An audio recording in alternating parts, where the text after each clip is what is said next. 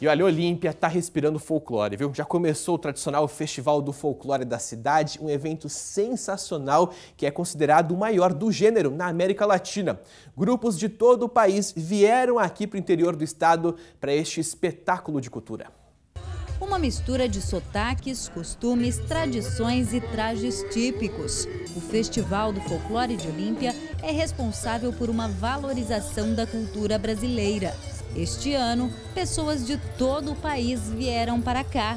Ao todo, 51 grupos folclóricos e parafolclóricos vão se apresentar durante os nove dias de festa.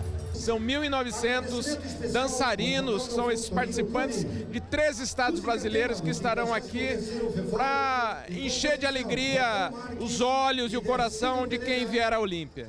A cidade, um dos destinos mais procurados do mundo por conta de suas águas termais, é famosa também por conta do folclore. E a intenção este ano é fazer um verdadeiro resgate deste lado cultural do município, que tem o maior festival do gênero da América Latina. Todo o Brasil se encontra aqui.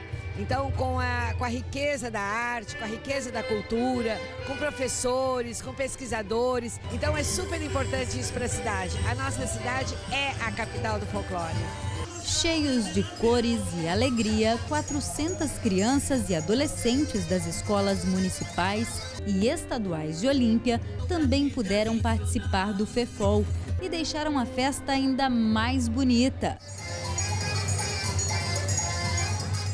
Oportunidade muito boa e é representar a nossa cidade. Além da apresentação das crianças, um show pirotécnico encheu os olhos de quem veio ao recinto do folclore.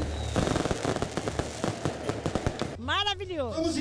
Eu amo o folclore! Primeira vez que eu tô vindo, tô amando. Mas foi quando os grupos começaram a se apresentar que o público pôde acompanhar um pouco mais da cultura de cada estado representado no palco. O Parafusos do Sergipe traz a tradicional dança dos escravos em comemoração à liberdade. Alguns grupos, como do Pará e da Paraíba, viajaram por mais de três dias para poder participar do festival.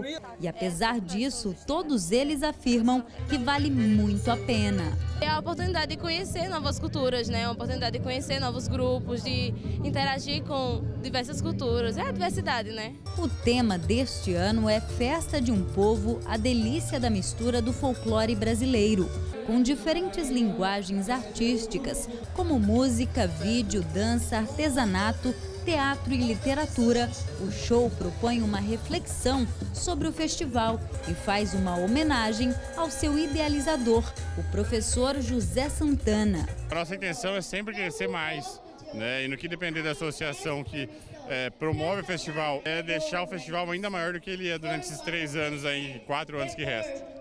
Aqueles que têm a chance de subir ao palco deste grande festival dizem que se sentem orgulhosos e emocionados. Para mim é entrar aqui nessa, nesse recinto e ver o público assim, nossa, para mim foi uma emoção muito grande.